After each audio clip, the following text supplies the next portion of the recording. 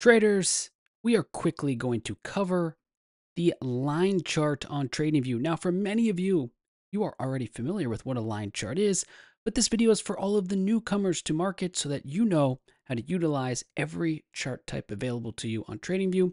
And keep in mind, our YouTube channel covers all of these different chart types, as does our Help Center. Now, as you can see here, we have line selected, and thus the chart shows a line.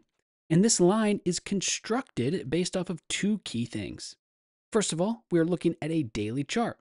That means each point on the line, when you move your mouse, you can see here it automatically snaps, is showing a specific day.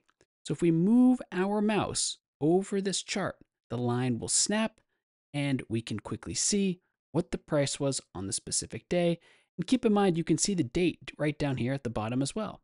So we have all of this information plotted on a wonderful line chart. Now, if we double click on this line chart, it's important to know that it says here, price source close. This chart settings menu gives us the capability to fully customize our line chart, meaning how do we want each price point to be plotted on the chart. Because we have close selected, this means that each price point on the chart is going to be plotted based off of the closing price of this specific time interval that we have selected or this specific symbol that we're looking at. Now, in this example, we're looking at Eli Lilly. It's a healthcare stock, trades on the New York Stock Exchange.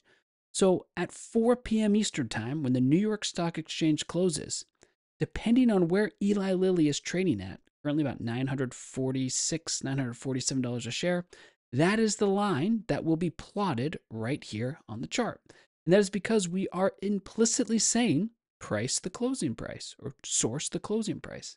If we wish, we can click the drop down and select a different source price of our needs. So if you wanted to see just the open and have that plotted each day, you can see the open. And you'll notice the line changes and that happens naturally because obviously the closing price is not always the same as the opening price.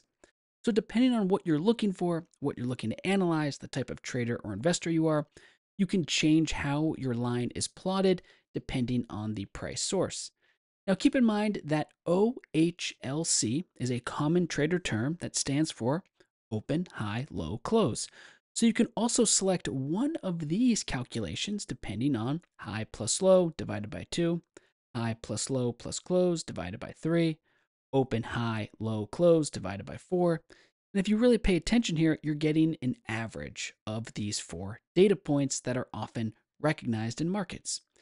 So when we have open plus high plus low plus close, we are summing up the open, high, low, and close of each day because there's obviously an open, there's obviously a close, there's a high point in that day and a low point.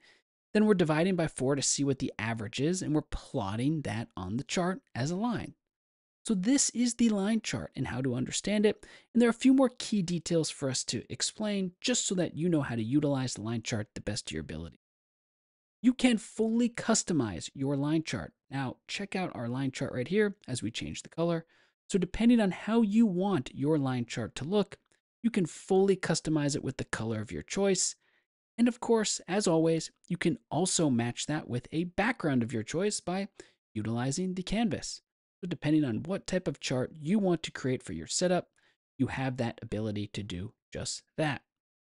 Now, a few more final things is to make sure you understand your precision, which means how many decimal points do you want to see, and your time zone, which currently we have set to exchange. We're looking at the New York Stock Exchange. So this line chart is set to the New York Stock Exchange. We are also recording this video from Manhattan, New York City. It's currently 11:09 a.m., about to be 11:10 a.m. So you can have your line chart also plotted on the time scale down here and according to the time zone that is most relevant to you or most relevant to the exchange. So that is the introduction to the line chart. And now you have a video to understand the key concepts of it, how to read it, and how to get started. And as a final tidbit, just remember all of this information applies to other time intervals. So if we do a 30 minute chart on a line chart, well, now we're looking at every 30 minutes plotted as a line. And if we move our mouse over this line, we are going to see that 30 minute price as we move our mouse backward. So thanks so much for watching. We hope this video helped. Be sure to subscribe to our YouTube channel and let us know if you have any questions or comments and check out our Help Center for more.